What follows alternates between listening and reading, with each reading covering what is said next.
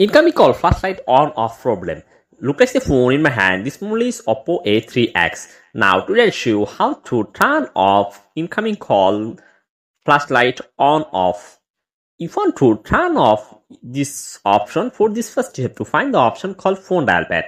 When find phone dial pad option, then you have to click on it the option called phone dial pad. When you click on the option called phone dial pad, you can see an option three dot button. Then you have to click on the three dot button and you can see an option called settings icon. Then you have to click on its settings. When you go settings, you can see an option called again calling accounts. Then you have to go to the option calling accounts and you can see an option called more settings. Then you have to click on it more settings and you can see an option flash on call. You just turn it off this option flash on call and incoming call flashlight on off problem now solved. So if you want to like this video, please subscribe my channel.